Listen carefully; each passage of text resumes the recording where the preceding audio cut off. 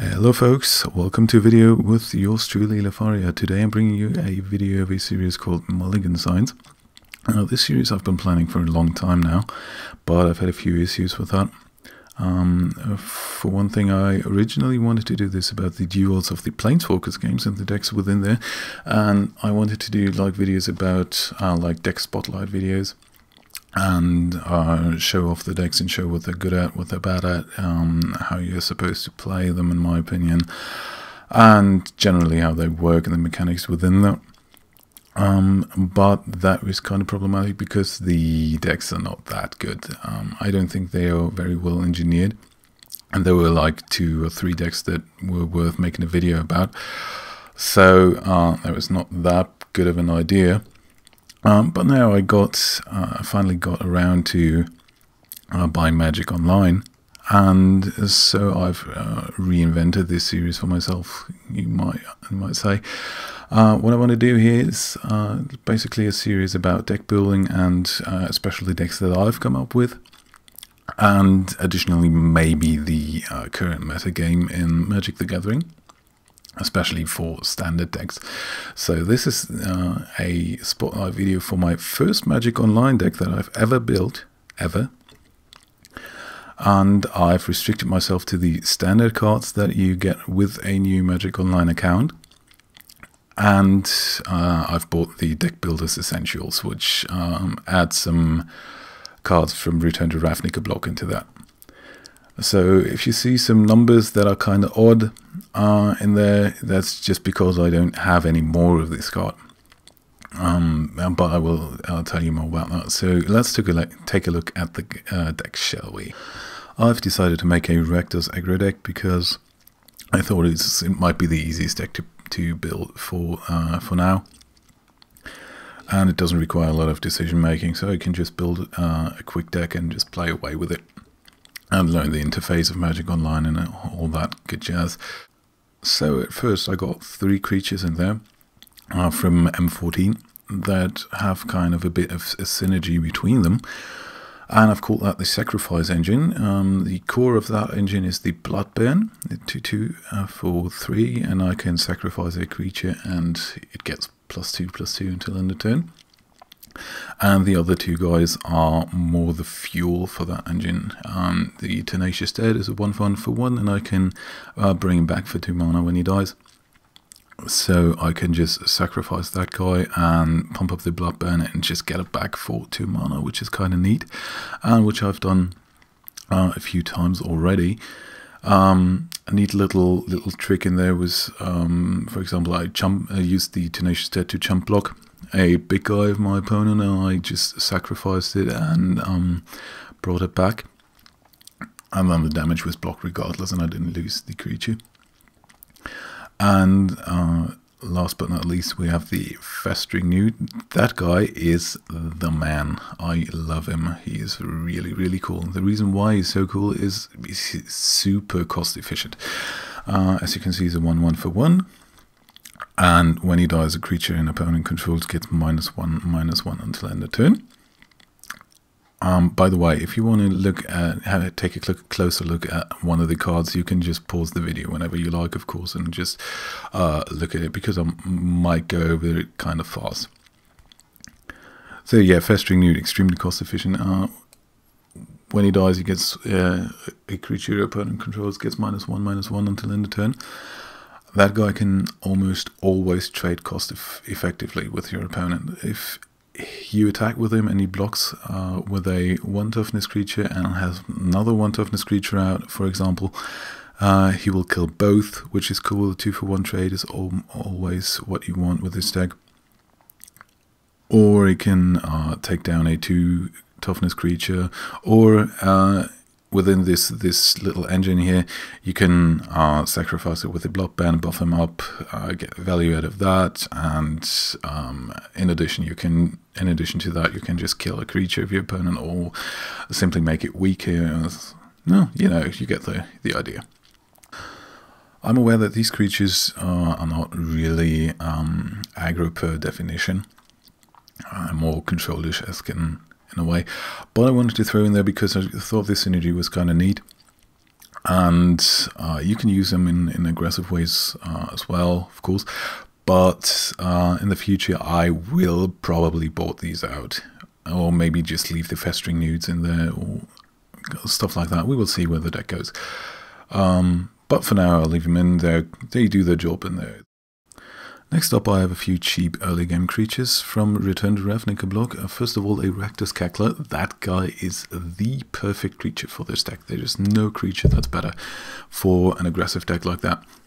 Uh, all of these creatures have Unleash, which you may not be familiar with as a mechanic from Return to Ravnica. Um, what it basically is, is I can, as you can see, I can um, choose to bring these guys in with a additional plus one plus one counter as they enter the battlefield. And if I do, then can't block. That's all. Um, so I'm not that worried about blocking uh, because it's an aggro deck and I just want to whack away and I want to attack with as many creatures and, uh, as I can anyway. So I'm not that concerned about blocking.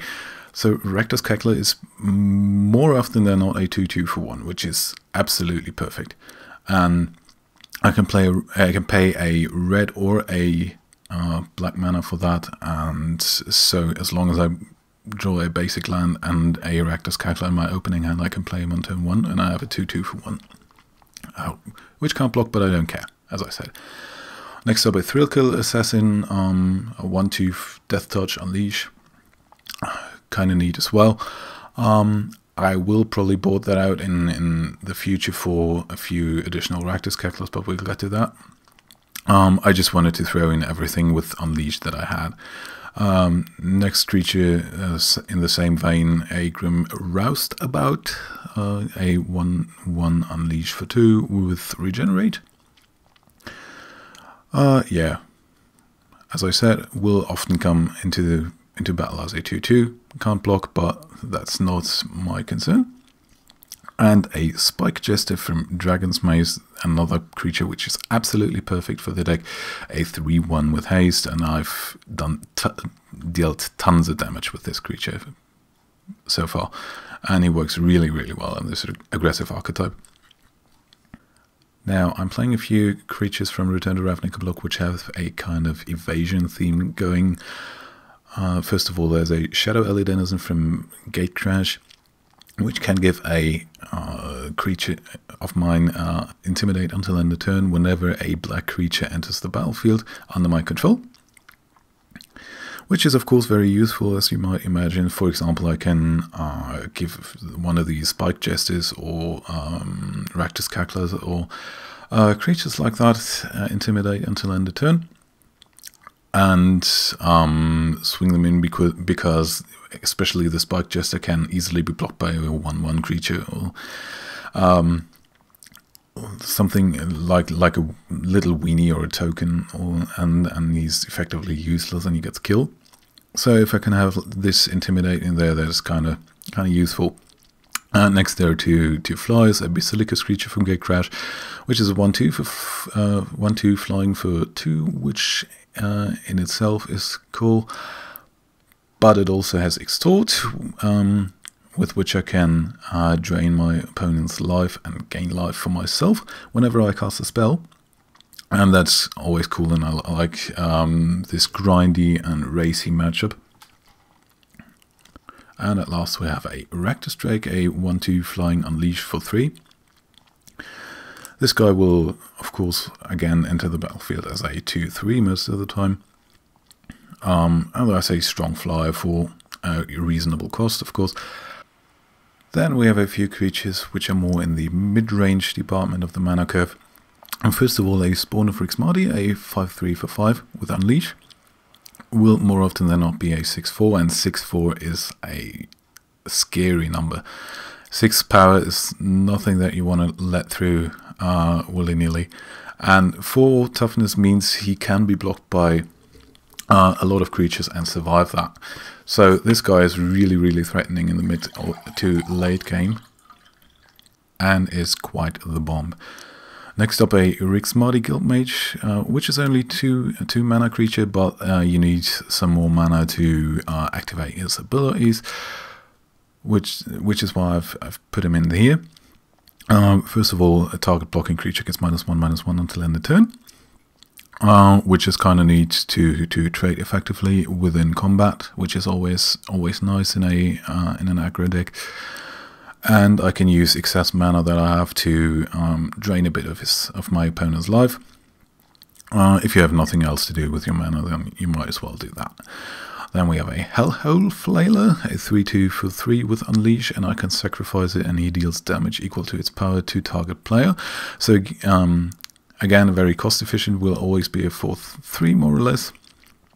And uh, should my opponent have a few fat blockers, then um, I can get through to him um, regardless by just sacrificing the creature and dealing the damage.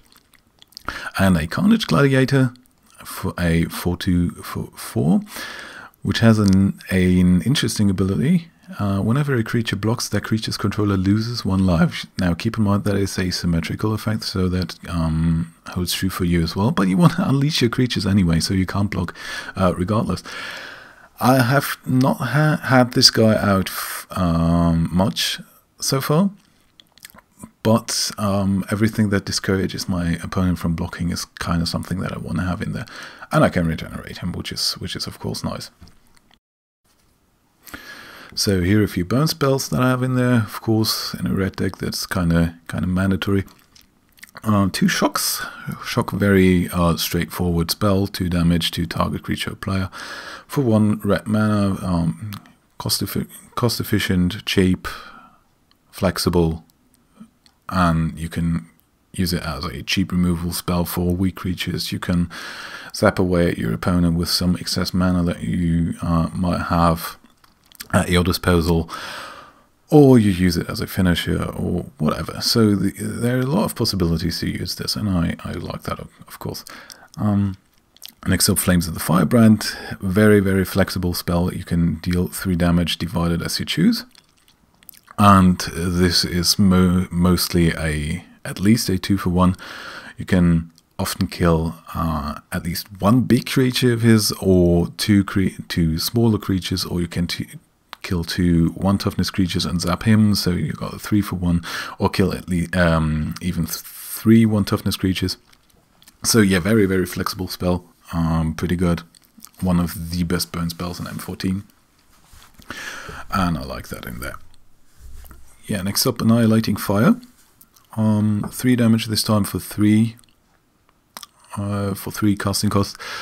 Uh, not so powerful as a shock or flames of the firebrand, but has the uh, the kind of interesting implication that a creature killed by it is exiled instead of put into the graveyard. So this spell is kind of good against decks that have some kind of graveyard shenanigans in there.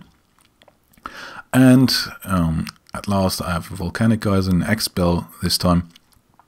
Uh, can be used to bring down larger creatures than 3 toughness for 4 or 5 or 6, maybe if you get the, the mana. But um, for now, I mostly play it as a finisher to get the, the last points of damage in to kill my opponent. And again, very, very flexible. The mana cost is not too shabby. It's a bit expensive, but um, in the late game you can uh, mostly make that happen.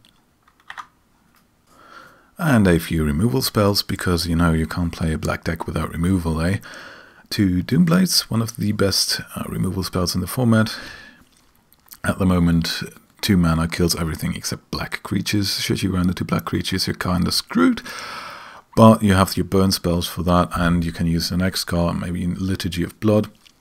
Uh, two of that as well. Kinda costly this time for five mana, but uh, you get to uh, you get three black mana back to maybe cast another spell, get a creature out, or um, like extort with the Basilica Screechers should you have them on the battlefield.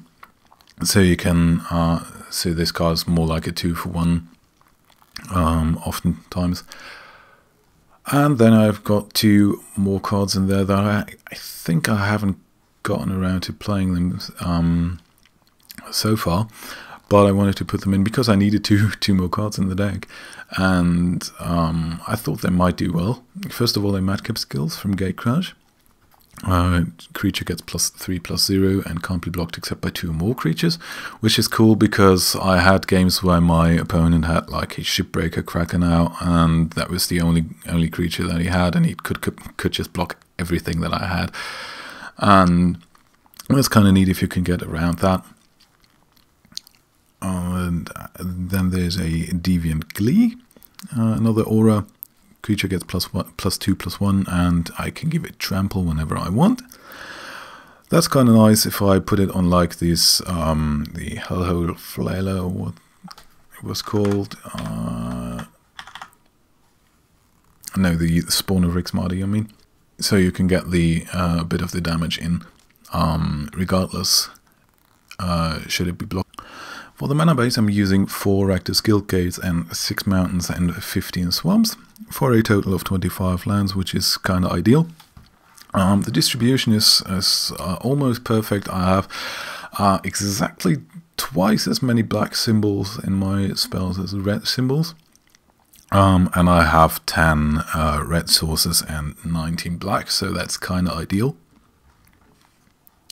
And I do have a sideboard for this um, for this deck, but it's not worth mentioning because I just threw some random cards in it that, that I uh, happen to have, like two extra Doom Blades and um, some mass removal like like Shrivel against um, Weenie and token decks, but I you don't want mass removal in an aggro deck, which plays uh, cheap creatures itself most of the time.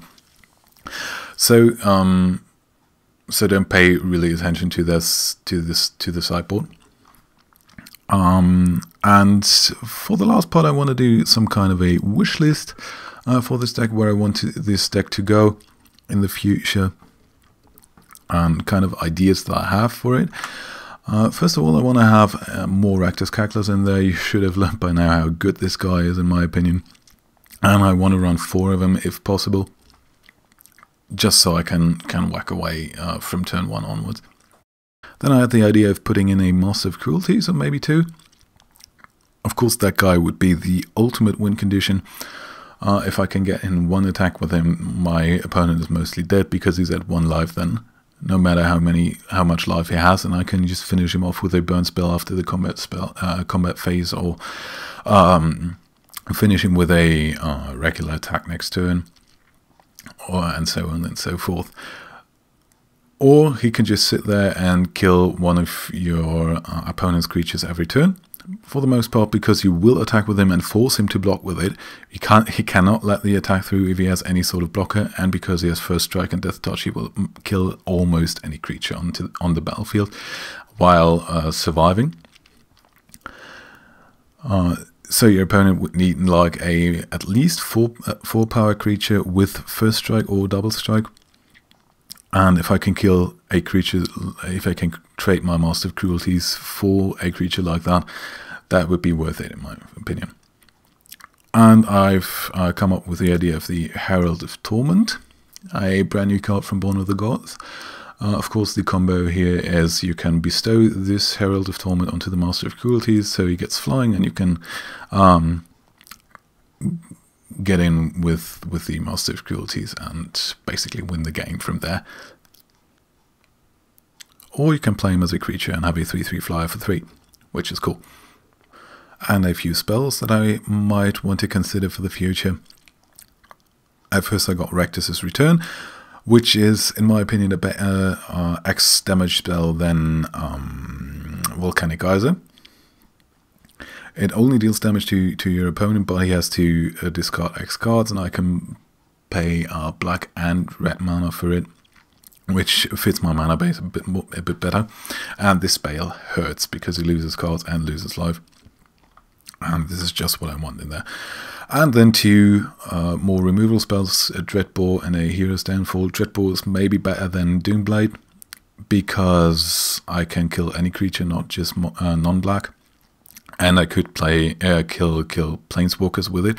I haven't played against planeswalkers so far, but should they come in, I can have a way to deal with them. And the only reason Dreadbore is maybe worse than Doomblade is because Doomblade is just black and Dreadbore is red black. But um, that's mostly not a concern in my deck because my deck is red, uh, black, And last but not least, I considered Hero's Downfall, which is a very powerful card. Instant speed this time, uh, spot removal, unconditional removal, um, can target planeswalkers again, so I can kill the planeswalker he, uh, my opponent played at the end of his turn already, and I can can see that being a really really powerful spell. So that's it for the deck. And now finally I will try to get into a constructed match and hopefully get a good game in so I can uh, show you a bit how the deck operates. Uh, I'll just open a, quick match and see who joins, and then we we'll see what happens. Um, this is the Just for Fun lobby in Magic Online, and I have selected my Novice Rakdos aggro deck, and I will host a match. Let's see. So, we're up against a player called Jimmy Jimmy. I won the die roll, of course I would like to play first. Uh, my hand is pretty cool. Yeah, I will keep this. Enough mana and a few cheap creatures, just what I want. Um, yeah. Cost this and the Cackler. Do I want to unleash? I do want to unleash it. There you can see the power of the Cackler. 2-2 on turn 1. Uh-huh. Temple of Silence. Cool Born of the Gods. Uh, no, not Born of the Gods. It's uh, Theros. Theros dual land.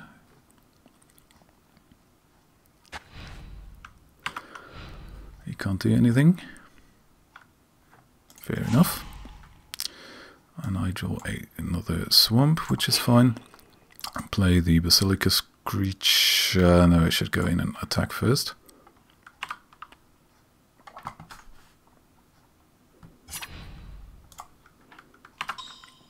Boom. Can't do anything, takes two. Whoops, and I skipped my second main phase. Shit. That's how good I am. Imposing Sovereign. Creatures your opponents control enter the battlefield tapped. Uh, that's fine with me.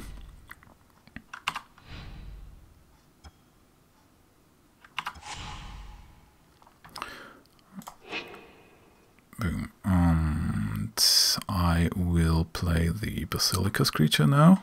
Hopefully. Yeah, I will not attack because it could block. Yeah. Boom, boom. There we go. Declare attackers. Uh, well, mm. Should I attack with this guy? I could trade for this, which I kind of want. Yeah, we'll go in. If he blocks, he blocks. But then my creature's down into the battlefield tapped. Okay, he lets it through. Cool. So he's at 16.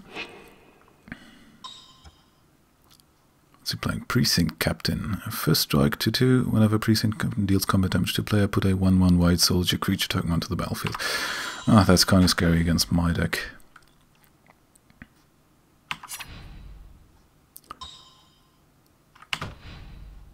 Okay, yeah, take two here.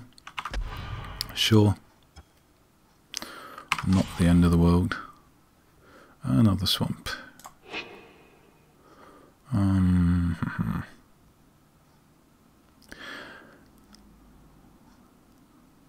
Again, I will go in with this. If he blocks, he blocks. I want to have this guy gone. If he trades it for it, I'm totally happy with that. And, um, yeah, go in with the Basilica Screecher, of course. And then play the Rakdos uh, Drake next turn uh, at, the, at the end of the, uh, the second main phase. And then extort for one. So go in with that.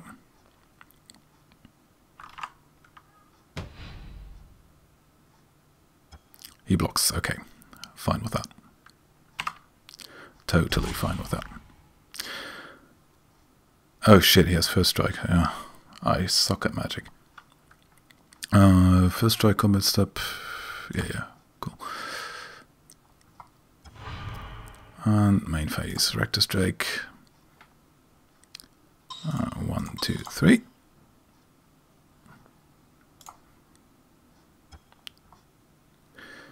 May pay one black, and I do. Boom.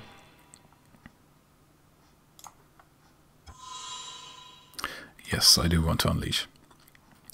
There you go. Three flying damage on the board. Next turn I can play Liturgy of Blood. And kill this precinct captain.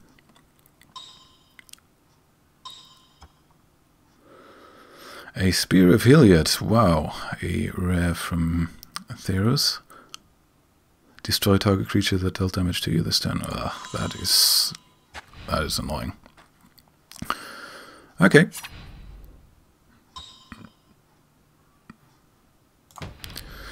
That is 6 damage, which is not good.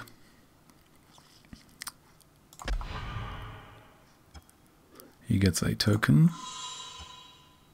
Sure.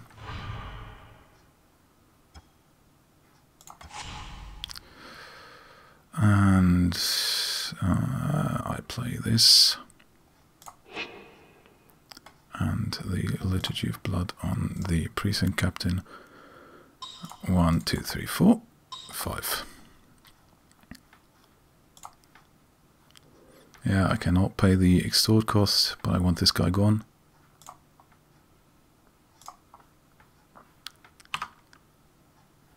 Cancel.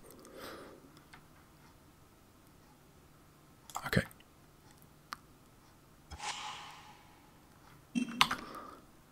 Uh, if you continue to your next... Yeah, yeah, okay. I cannot use the mana that I got from Liturgy of Blood. I go in for three.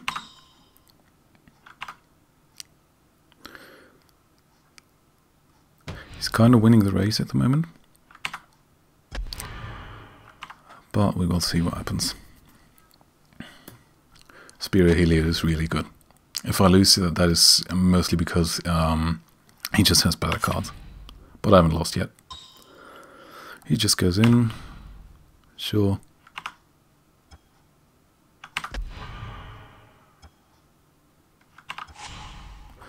Another Rakdos Drake, sure. Why not?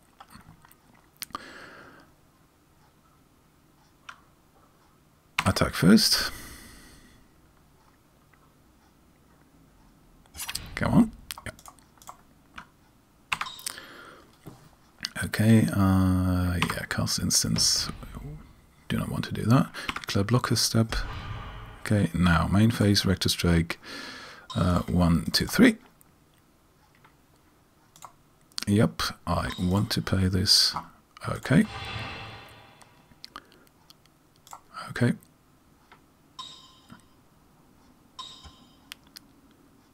He kills my other Rakdos Drake. that's, that's okay. And I want to unleash it. Sure. And now we're at 7 for 9. Another Temple of Silence. Hmm? Goes in for 5. I go down to 4.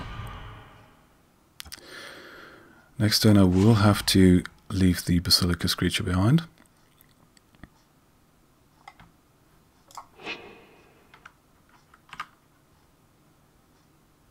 And he can kill the Rakdos Drake, which is which kind of sucks. But I have to go in, I have to deal damage. He goes down to 5. And if I don't uh, draw anything good, then I'm mostly dead. Brave the elements, choose a color white creatures you control gain protection from the color of choice. Yeah, that's GG. Okay, I don't feel too bad about that. There were some good cards in there that he had there. Um, but I think the, the deck performed rather well for being kind of cheap. It has no rares in there, keep that in mind.